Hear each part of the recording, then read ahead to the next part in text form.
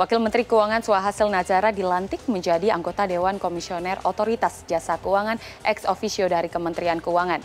Pelantikan ini dilakukan di hadapan Ketua Mahkamah Agung Hatta Ali di Gedung Mahkamah Agung Senin pagi. Pelantikan Suhasil untuk menggantikan posisi yang ditinggalkan Wakil Menteri Keuangan sebelumnya yakni Mardiasmo.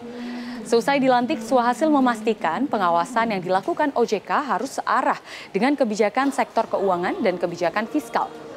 Saat ditanya kasus Jiwasraya, Suhasil mengatakan pentingnya perbaikan mekanisme pengawasan agar hasil pengawasan nantinya juga dapat memberi sinyal kondisi keuangan dari institusi asuransi yang diawasi.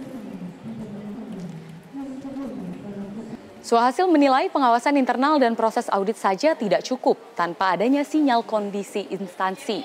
Apakah membaik atau memburuk? Jika membaik, apakah sifatnya fundamental atau semu?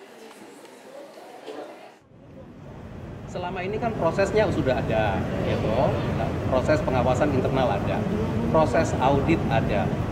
Nah, kita perlu melakukan aja terus melihat yang sudah dilakukan kemarin seperti apa.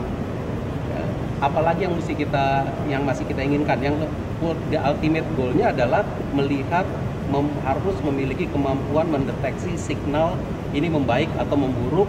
Ini apakah membaiknya secara fundamental atau membaiknya ini hanya secara semu.